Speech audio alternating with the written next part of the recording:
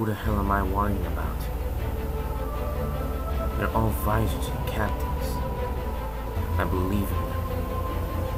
I trust in their strength.